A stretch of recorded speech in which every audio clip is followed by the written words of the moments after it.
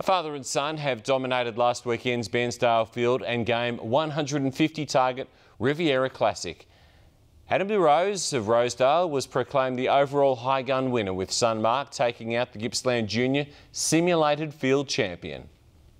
In its fourth year, the Bairnsdale Field and Game event attracted its largest crowd. 150 participants travelled to compete in the two-day event. We have shooters from the south coast of New South Wales, Albury Wodonga, up the other end of Gippsland, Latrobe Valley, Frankston, so got a, a, significant number of visitors to the region. Bairnsdale Field and Game Vice President Dave Jones says the continued support of regional businesses, coupled with the club's reputation, has helped the event to grow in popularity. We changed the format this year to make it 150 targets over the two days rather than a separate event Saturday and Sunday. People have said that they really like the format, that they'd love to see it run the same way next year. It means that the prize pool for the event's bigger. Sale competitor Andrew Speed claimed the handicap high gun win. The club says being able to offer the first junior Junior Simulated Field Championship event gave around 20 up and coming juniors a chance to prove their worth. We're hoping that it'll become a prestige event on the junior shooting calendar, that the tailored winner's vest will become a bit like the yellow Guernsey of, of cycling, that